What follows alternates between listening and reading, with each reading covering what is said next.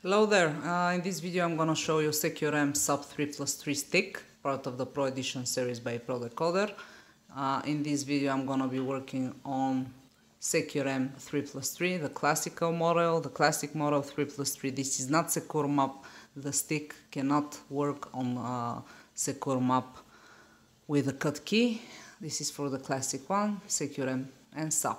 Okay, uh, as you can see, the stick has 3 plus 3 pins, upper ones, which can be manipulated from this bolt here, and bottom ones that are manipulated from this bolt here. What does it mean to be manipulated? Uh, with the Pro series, you change the traction of the pins. You can make them feel, uh, you can make them move like very loose or you can make them move really tight. It's this is the most difficult and the most important thing when working with this tool. Now uh, in this video I'm gonna show you how to work with the external manipulator. You grab your universal handle here. This is the external manipulator. The external manipulator works only on the bottom pins. The top will remain to be manipulated with an additional hex key. Okay, the first step, I remove the bolt here like this carefully because there is uh, there is a small stick inside. So be careful. Insert your handle like this.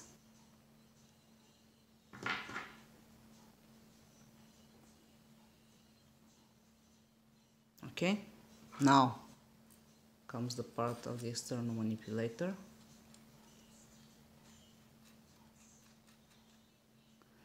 And here comes the difficult part. You have to you have to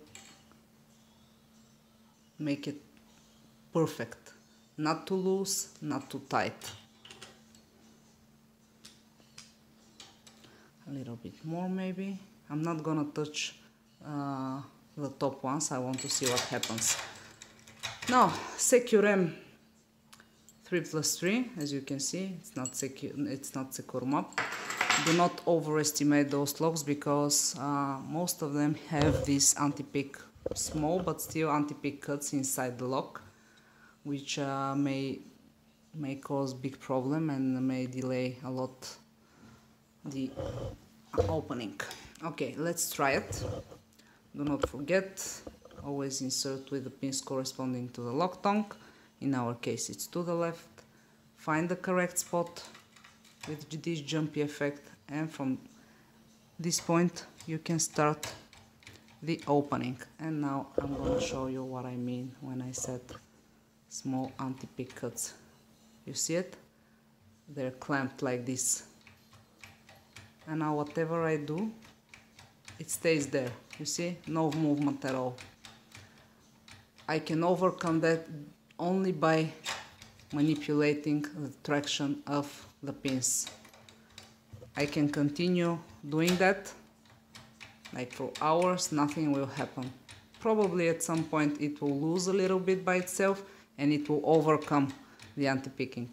For now I'm just gonna from here I'm just gonna lose it just a little bit to see if it makes a difference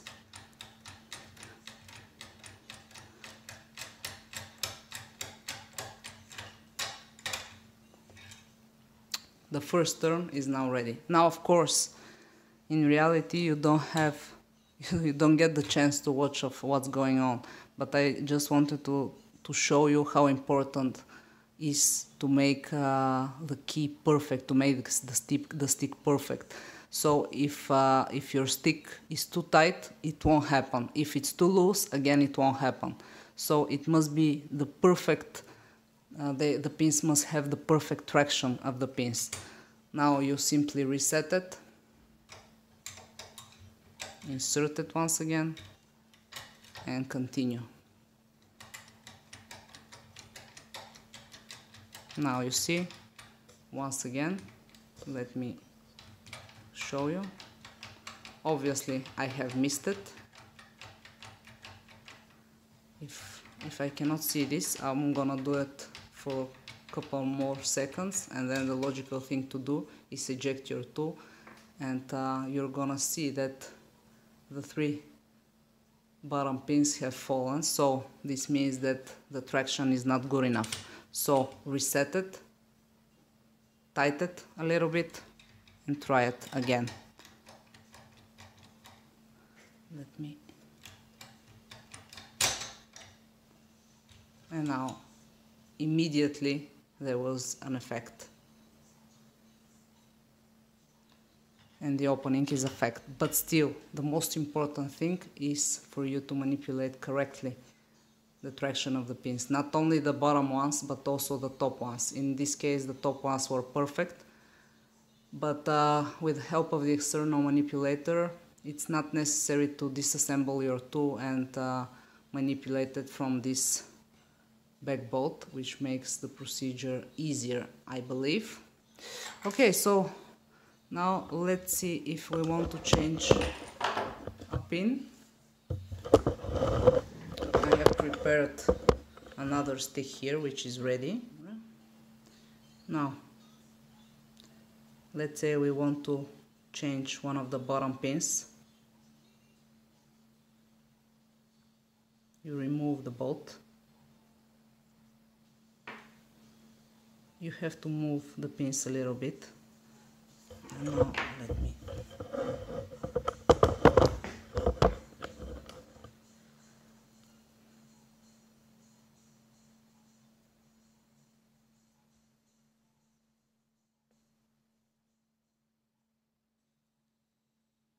the first will go out like this but you have to reach this bottom here.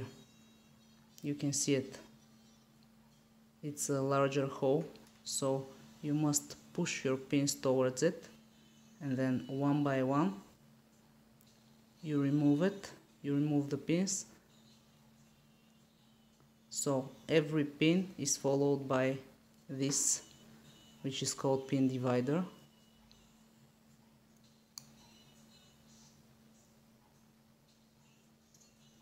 so basically we have pin then divider then again pin then again divider. I will keep removing the pins until I reach the one I want to to change. Every box comes with uh, spare pins. Now be careful not to lose them because they're quite small as you can see. Okay. Every pin has head so again be careful of the direction.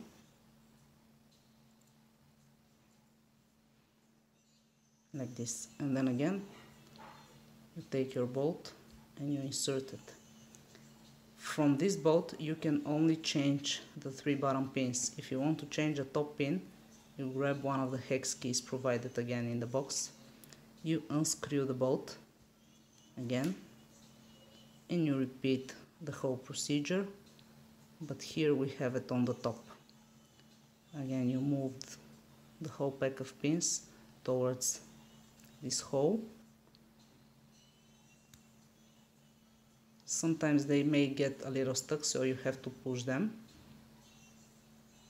And then again you repeat you repeat the procedure.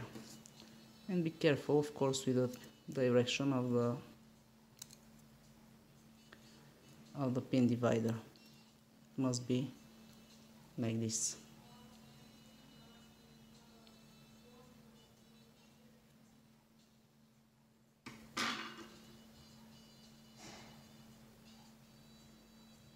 You insert the bolt and you're ready.